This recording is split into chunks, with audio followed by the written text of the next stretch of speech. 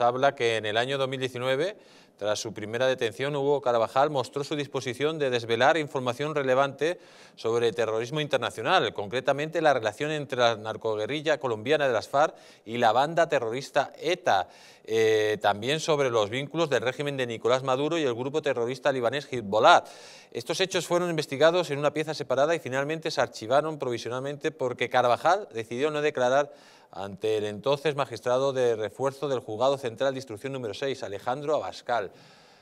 Esto es una joya, o sea, eh, hay que recordar que el, secretario general del Partido Comunista es el abogado de las FARC, el señor, eh, eh, ay, no me acuerdo,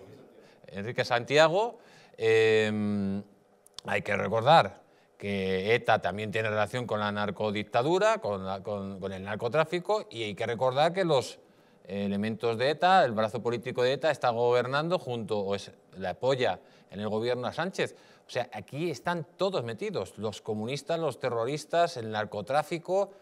España ahora mismo está en manos de, la bazofia mundial, ¿no?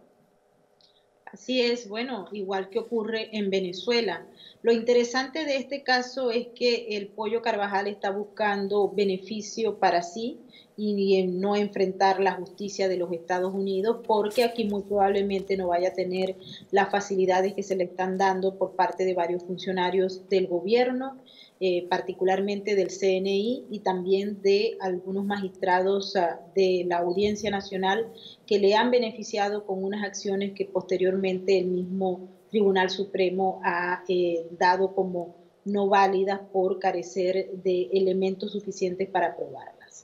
El Pollo Carvajal, eh, Jesús, está siendo acusado de delitos muy graves en Estados Unidos. Su participación en el régimen de Hugo Chávez para el manejo y las negociaciones con la FARC, con la ETA. Y también se dice, incluso él trató de entregar esa información a las autoridades de los Estados Unidos cuando estaba ensayando lograr un acuerdo con la DEA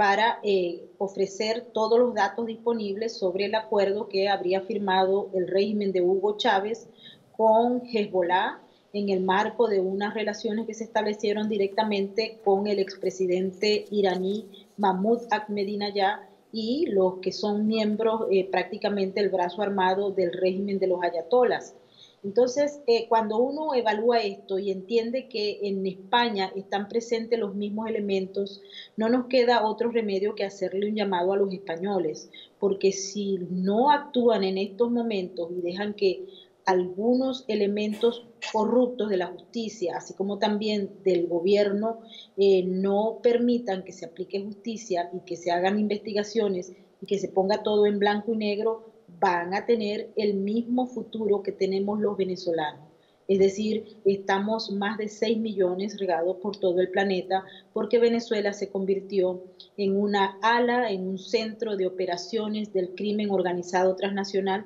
y del terrorismo. Ese es el único futuro que le queda a las personas que no actúan en un momento determinado para parar todo este tipo de acciones criminales que llevan a cabo políticos, todo al parecer de Podemos y también miembros de la Audiencia Nacional como un magistrado que ha beneficiado al Pollo Carvajal.